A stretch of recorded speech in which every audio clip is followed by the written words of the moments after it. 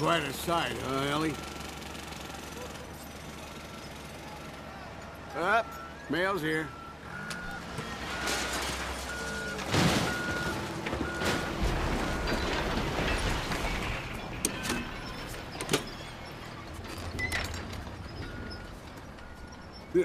Shady Oaks retirement. Oh, brother. Hmm.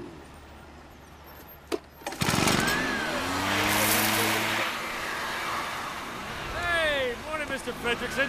Need any help, sir? Uh, no. Uh, yes.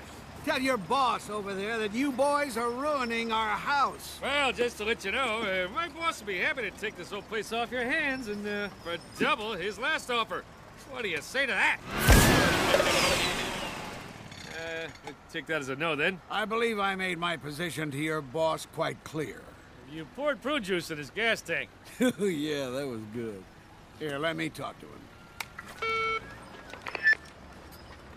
Suit. Yes, you. Take a bath, hippie.